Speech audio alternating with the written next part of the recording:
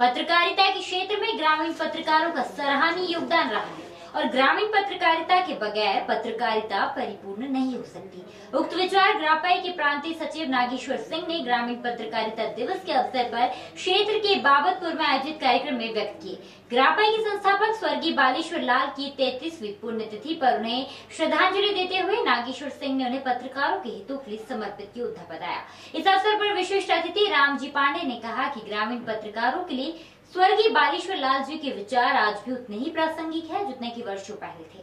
कार्यक्रम की अध्यक्षता करते हुए ग्रापा के जिला अध्यक्ष सीबी तिवारी राजकुमार ने संगठन को मजबूती प्रदान करते हुए ग्रामीण पत्रकारों को आगे आने का आह्वान किया जिससे पत्रकारों के हितों की रक्षा की जा सके। कार्यक्रम का संचालन देवमणि त्रिपाठी व धन्यवाद ज्ञापन गुलाम मोहम्मद ने किया। स्टार्ट मैं सीबी तिवारी जिलाध्यक्ष वाराणसी।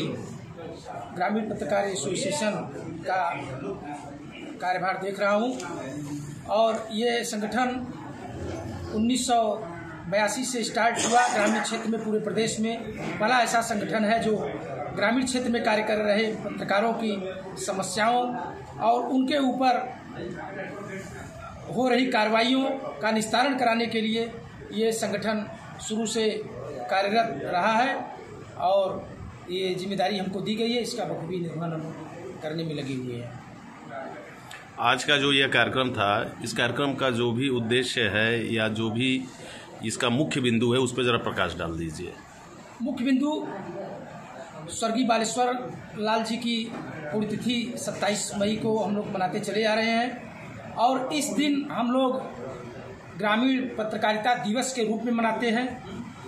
ग्रामीण पत्रकारिता दिवस के अवसर पर हम लोग पत्रकारों पर हो रहे कठिनाइयों उनका शोषण उसके निस्तारण पर विचार विमर्श करने के लिए इकट्ठा होते हैं जिसका इस संगठन के माध्यम से निराकरण किया जाता है। यह कार्यक्रम प्रत्येक वर्ष मनाया जाता है। प्रत्येक वर्ष 27 मई को आज के तारीख में मनाया जाता है।